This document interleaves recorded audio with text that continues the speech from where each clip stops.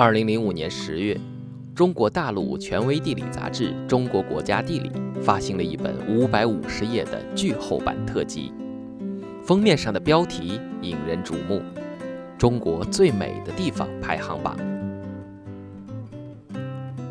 在所有分门别类的排行榜中，有关最美丽洞穴的评选引来了大家更多关注的目光。而在洞穴排行榜上名列第一的。就是位于中国贵州毕节地区的织金洞。很多人惊奇地发现，原来在中国还有如此美丽的地下景观。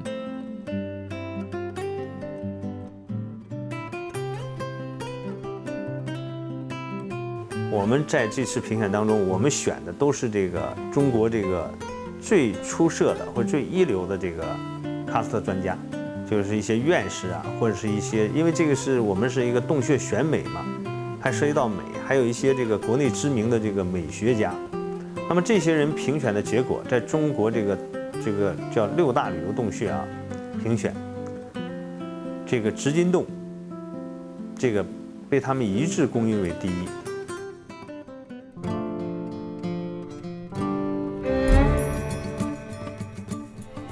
如果一定要用语言来概括织金洞的魅力，那么第一个词或许就是宏大。走入织金洞景区，没过多久就会看到一个洞穴的剖面模型。从这里可以看出，这个以勘测长度达到十二点一千米的巨大洞穴，被分成了十一个大厅、四十七个小厅堂，每个大厅都有不同的形态特征，变化万千。这样宏大的气势，难怪会让无数来过的人为之倾倒。还没有进洞，单单是洞口的气势，就会让第一次来到这里的人们觉得不虚此行。我们这个洞口一看起来还是很宏大的，很宏大的。可以说，游客进到洞了以后，看到这个洞口了以后啊，这么壮观的洞口啊，就可以。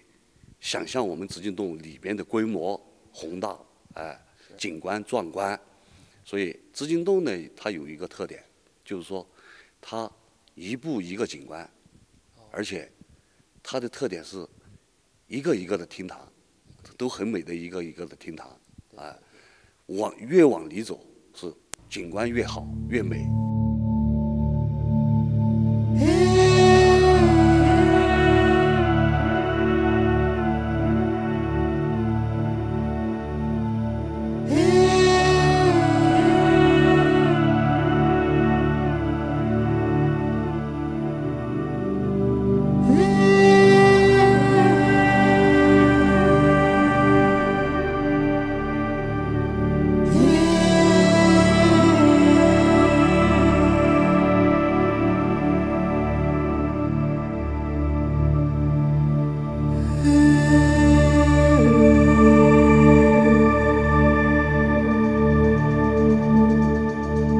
进入洞穴在五颜六色灯光的照射下，一个宏伟而奇妙的世界展现在我们面前。这些巨大的石头厅堂，高度都在六十到一百五十米之间，最宽的地方达到一百七十多米。在七十多万平方米的巨大洞体中，分布有一百多种形态风格迥异的岩溶堆积物。有的像层层叠叠的群山，有的像高耸挺拔的树木，也有的像姿态万千的人物。不仅仅对古代地质研究提供了丰富的资料，美学的观赏价值也非常高。或许这就是织金洞被称为岩溶博物馆和地下艺术宝库的原因吧。这个洞穴它不是一个化学过程，喀斯特作用，然后那个那个碳酸那个那个水，那个地下河把这个不断的溶蚀，把这些物质运走，然后上面呢，由于这个有了空间以后呢，它这个重力作用，它就要崩塌，崩塌以后就不断的崩塌，不断落到底以后呢，它河流又把它的运走，运走以后这个地方又空出来了，空出来它就不断的崩塌。崩塌这个，当然这个过程都是很漫长，也可能是这个十几万年啊，也可能是上百万年都有可能。然后就那这个过程就这个厅就越崩越大。在这些巨大的大厅中，各种各样、形态各异的堆积物，把大厅分割成了许多厅堂。这些石钟乳、石笋，以及许多叫得出名字或叫不出名字的地质景观，给观赏的人们带来了无穷无尽的想象空间。织金洞呢，最有代表性的景观啊，就是我们洞中有三绝。银雨树，那个钟乳石啊，十七米多高，是花瓣状的，花瓣状的，它就是水滴形成的。我们很难想象它会形成这样的形态。有一个专家也说了，一个地质专家也说了，银雨树把它说成国宝还不够，应该把它说成球宝。所以这就是我们洞中的一绝。霸王盔呢，钟乳石很高大，它就像楚霸王的头盔。闪光金色的这个霸王盔，也也算是我们的一绝。另外就是灵芝山，灵芝山就是一个呃很大很大的那个钟乳石，它山上全部雨滴形成了像灵芝一样，像灵芝一样。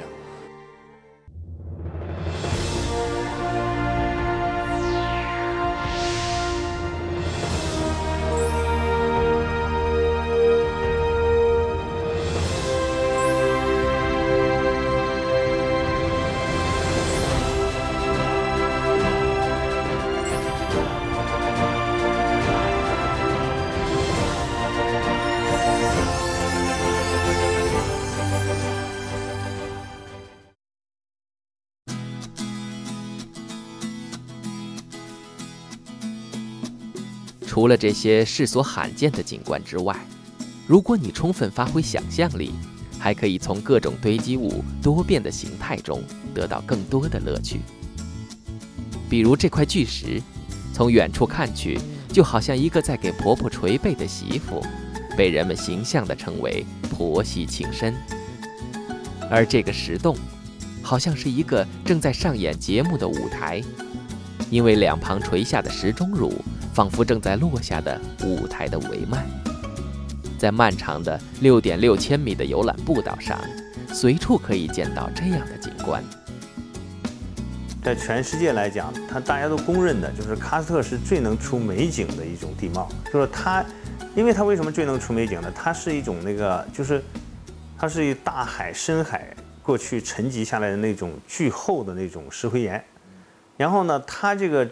地貌的这个造景过程呢，它不是一个基本上，当然也有物物理过程了，就是这个侵蚀啊、搬运呀、这个嗯这个挖掘呀、什么这种掘石啊这个过程。但最最重要的，它是那个化学反应，就是它是一个化学过程，所以这个化学过程进行起来，它就那就特别微妙、特别精细了，对不对？就有点像这个我们雕刻一个家具，那你拿斧子、拿凿子是一样，但是你要是用这些这个更细腻的工具，对不对？你去。是去磨石或者是打磨什么，它就有另一种效果。说到精细的美景，最有代表性的要数卷曲石了。这些蜿蜒生长在石钟乳之间的小东西，让人难以想象，竟然会是石头。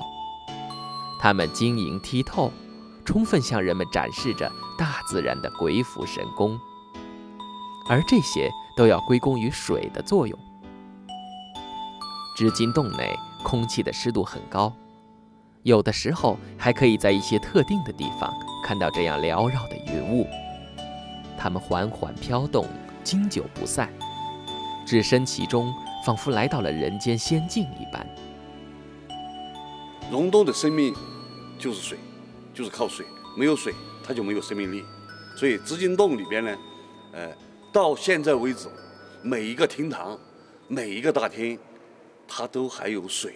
你要在织金洞里面参观的话，你要是不说话，没有其他声音干扰的话，你听见的声音全是雨滴的声音。哎，这就说明我们洞内钟乳石的还在生长，还有生命，还有活力。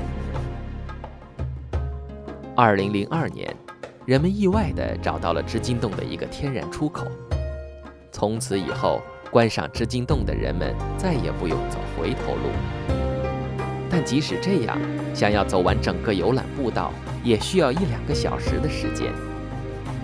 而实际上，如今我们所能看到的内容，仅仅是织金洞四层洞体结构中的两层而已。